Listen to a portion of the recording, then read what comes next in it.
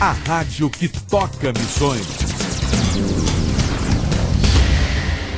É com grande alegria que nós estamos aqui nesse início de primavera, no Rio de Janeiro, na Secretaria de Missões, para fazer um agradecimento especial ao setor 9 Itaquera, em São Paulo, pela oferta missionária que enviou para a Secretaria Nacional de Missões.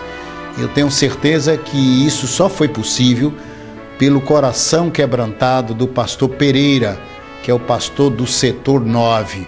Além de um homem entusiasta de missões, ele tem filhos também em missões e netos, e ele sabe a responsabilidade que cabe-nos ajudar os missionários que estão lá.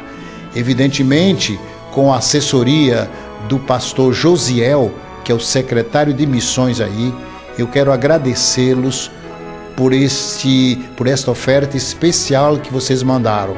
Eu sei que é uma oferta de sacrifício, o Brasil está atravessando uma dificuldade temporária, mas todas as congregações do setor responderam presente e é com muita alegria que eu quero agradecer em nome dos missionários que estão no campo.